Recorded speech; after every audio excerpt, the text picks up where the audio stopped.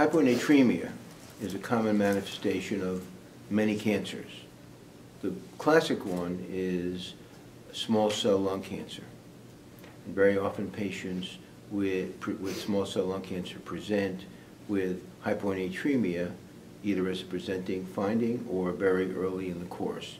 Head and neck cancers, some ovarian cancers, occasional hematologic malignancies can also present with hyponatremia.